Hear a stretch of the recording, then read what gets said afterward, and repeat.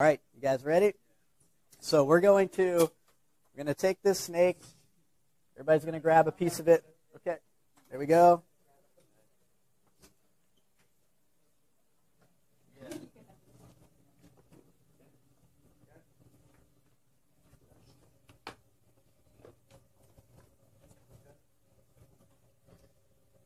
They are beautiful animals. I mean, they truly are. Might take me time to make some of you, convince some of you of that. But all right, let's pull her all the way to the wall. Okay.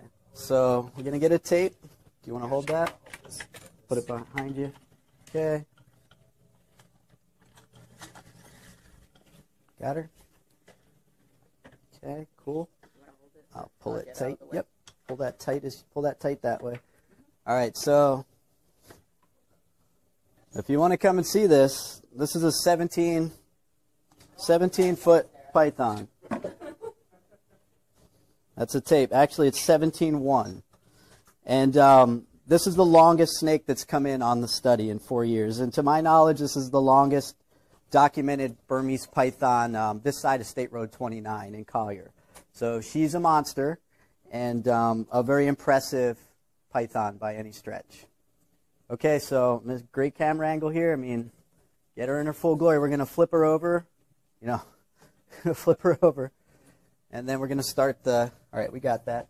So do you want to write the length? Um, all right, so Jamie and Ian are going to start the necropsy. Yeah, you ready, Jamie? Roll her over after. Okay.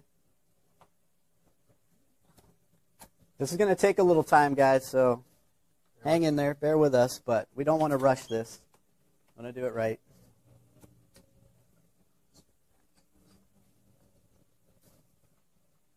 So we're assuming a pretty good clutch of eggs right here.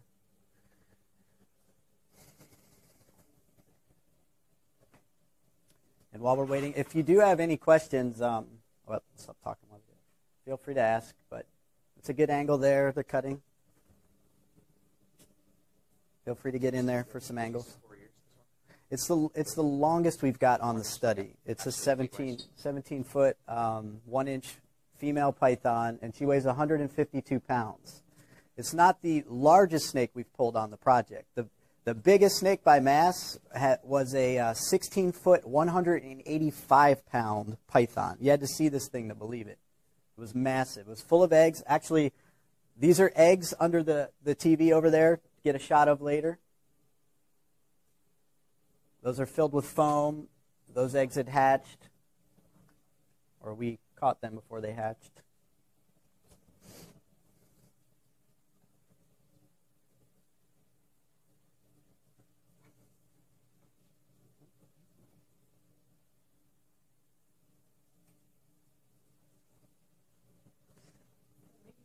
Go ahead, Jamie. Jump in when he's. Sure. Um, jump up there, Jamie, and help pull it apart. So, uh, Jamie's a conservation associate here at the Conservancy, and Ian is a wildlife biologist, and they're part of the snake team. And so they're performing a necropsy on this 17 foot, 1 inch female Burmese python. We are um, going to get an egg count, a developing egg count, and then later they'll also take some samples um, from the stomach and we can determine what this animal um, may have been eating, although it looks like a little bit of everything over the course of her life. A pretty impressive creature. We've developed a healthy dose of respect for these animals out there. And keep in mind, they're, they're not here from any fault of their own. They were released um, or escaped from the pet trade, and they found South Florida to their liking. And the, the ecosystem is not, uh, is not ready for a new giant snake in the system. The animals don't seem to have a, a defense against this, and um, we're witnessing the, the native wildlife in the greater Everglades being turned into giant snake real time. And so that's what you're seeing here today, this true scale of the problem. This is, this is very much not a trophy shot. This is an impact statement. We're putting all these animals out there just so you can see them all in one place. These are all females. They're all full of eggs. And these are a quarter of the females we brought in this breeding season alone. So they're just set, all from Collier, not terribly far from here. Um, don't be afraid. They're not interested in us. They're interested in our native wildlife for sure.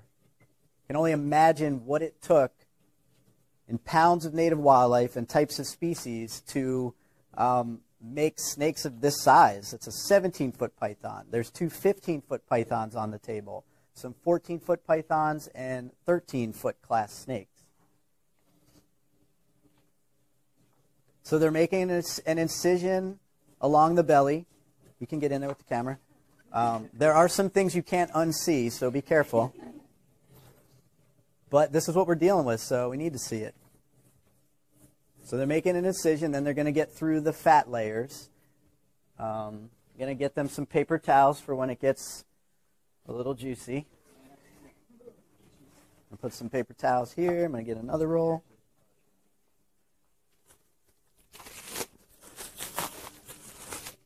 Perfect.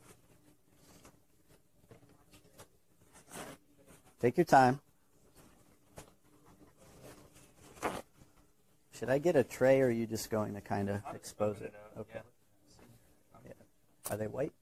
Uh, they moved down, so they probably, maybe they're not white yet. But there's still a bunch of them in there, right?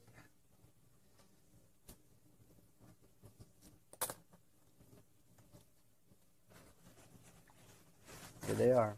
So what you're seeing here, don't get confused, and it's going to make a little more sense. There's fat bodies here. So this is the fat of the land. This is what they've assimilated from the native wildlife. And then underneath this will be the eggs that he's going to expose here in a minute. And we'll get a count. This, this animal might have a pretty high, I would imagine, pretty high egg count. Maybe more than we've seen to date. And this is just one female of many. We really don't have a handle on how many of them are out there. Uh, okay, still. They're on their way. Wow, there's a lot of them. It goes all the way down here. Okay, take your time. There's a lot of them. Come on, come closer. Come on. They won't bite. There's a whole unseat eggs? These are eggs here. Oh. See? Yes, these are fat bodies. These are these would have all been future pythons this season. Look at them all. It's just this is an egg laying machine. Yikes. This is this may be the most we've we've seen. We'll see. All right, so yeah, we'll try to keep you guys from the Gallagher zone here. Uh, start counting then? So. Uh, Okay. Yep.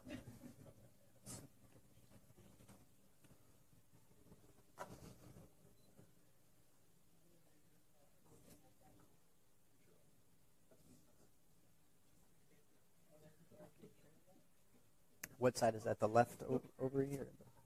Okay. I'm gonna keep let. I'm gonna be quiet while I count.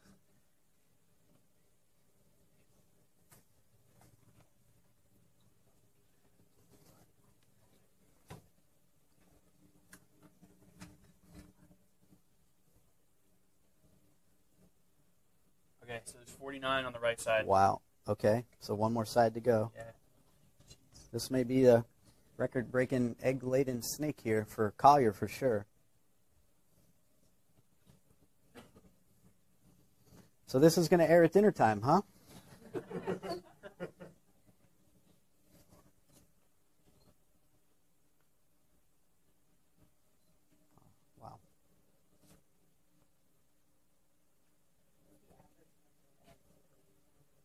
43. Average clutch size we found for Collier is 43. 46. So over 90. Over 90? I think that may, well, I think 93 or 97, I'm not sure, may be the record on the East Coast. Um, that's not the point of this exercise here. So this is by far the um, largest developing egg developing egg mass here in Collier. What is that? These, would have been two more? They Yeah. just didn't drop in? Yeah, it looks like they're. Yeah, I, I mean, I don't know you. Would they have? Yeah, we won't count those. Wow. But like that. So, okay, so yeah, so these ones, maybe these would have been pushed out. So do it. Do a double count. Uh, we'll do a double count again before we put this animal, just to make sure. Fold fold these eggs back in here for a nice photo moment. And then, um, yeah.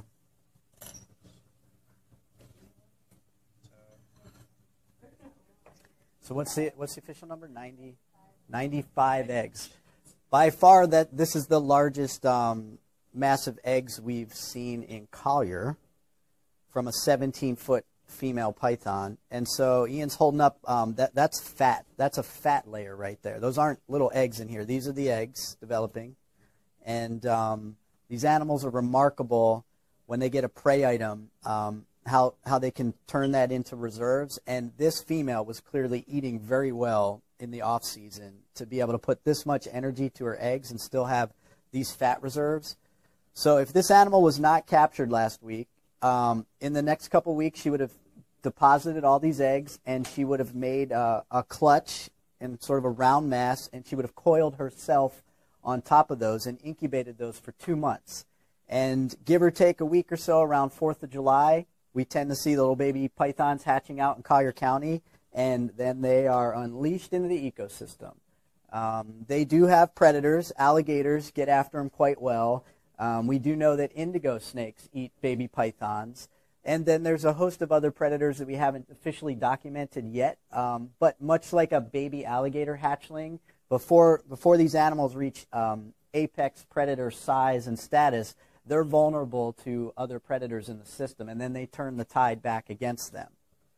So you've heard of some of the um, the mammal decline theories on the eastern Everglades, and um, you know some people are pointing the smoking gun at the Burmese python. The animals over here, we still find prey remains of um, raccoon, possum, rabbits, foxes, wading birds, deer. Um, I've seen alligator inside photos of pythons on here. On the East Coast, some of their pythons that they're necropsying and looking in the stomach contents, there isn't much diversity of native wildlife showing up because they've probably eaten all of that wildlife so far.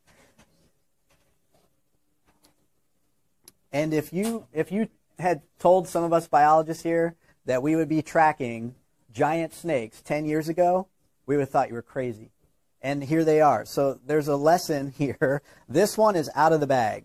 This Burmese python is very much out of the bag. and it, there's a learning lesson here. What's next on the scene? Are they Argentine black and white tegus? Are they Nile monitors? Is it something yet? How many? 95? Yeah, it's 95. Wow. And two are still not dropped into the. These uh, yeah, I don't know the state of these ones, but I'm not going to. Don't open that. Okay. So 90, 95 developing eggs in a 17 foot 1 inch female Burmese python from Collier County.